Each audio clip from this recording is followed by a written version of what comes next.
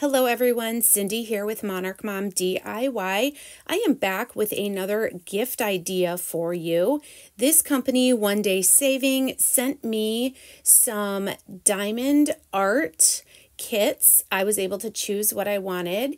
And I just want to show you they have a great variety of sizes and difficulties.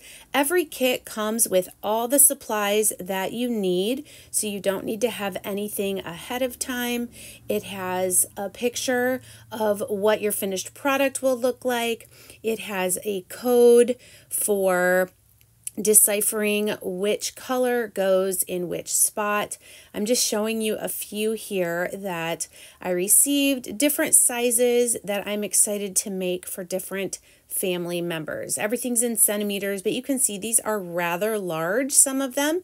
And again, they come organized with all the tools that you need to complete. So these would be great to order and make for friends, family, get them framed and give these as gifts, or the kits themselves would make great gifts. I will say you can see how they're rolled up. These did not come in boxes, so they don't come in a fancy box. These are more, um, they came, I believe, in a like padded envelope, um, probably to save on the shipping, which was great.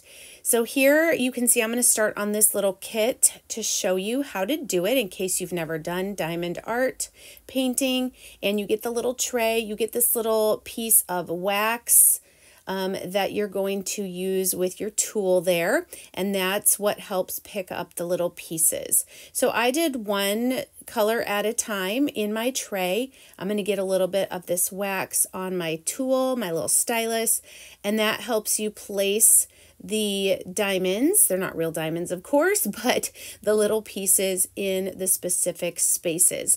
Now, this kit was a little different because you can see where the letters are, those are some larger jewels, and I'm going to show you the finished product here at the end.